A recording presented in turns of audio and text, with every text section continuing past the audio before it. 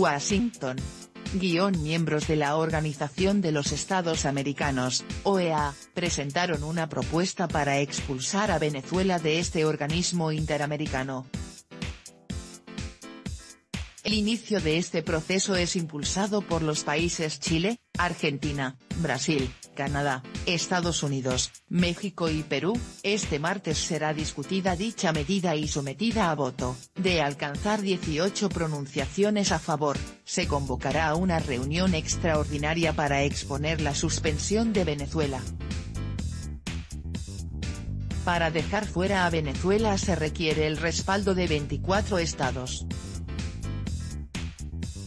La propuesta fue presentada este lunes al inicio de la 48 Asamblea General de la OEA, de ser aprobada, también podrían aplicarse sanciones económicas y diplomáticas contra el gobierno de Nicolás Maduro. Por su parte, Roberto Ampuero, canciller de Chile evitó manejar una postura con respecto a la propuesta e invitó a sus homólogos a no precipitarse, no hay que contar los votos antes de la votación.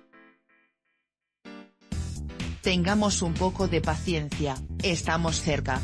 Jorge Alberto Arreaza, canciller venezolano desaprobó esta proposición, que fue sugerida por el secretario de Estado estadounidense Mike Pompeo. Arreaza aseguró que todo es un acto mediático ya que su país ha renunciado a ser parte de esta organización. Durante la asamblea se hizo un llamado a los países para apoyar medidas y acciones diplomáticas adicionales que faciliten la restauración de la institucionalidad democrática y de la paz social.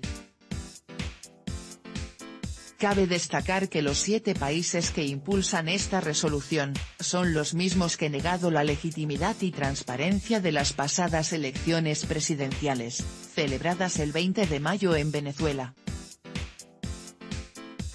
En días anteriores, la Unión Europea, UE, se pronunció a favor de ejercer presión a Venezuela, ante los resultados de los comicios, donde resultara vencedor Maduro. En ese sentido, la UE contempla adoptar nuevas medidas restrictivas, incluso ya maneja una lista de personas sancionadas y la actualización de la misma podría darse a conocer este mes, durante su próxima junta. A principios de años, siete autoridades venezolanas que ocupan altos mandos, fueron sancionadas diplomáticamente por represión, se les congelaron sus bienes y se les prohibió la entrada a la UE. Doctora,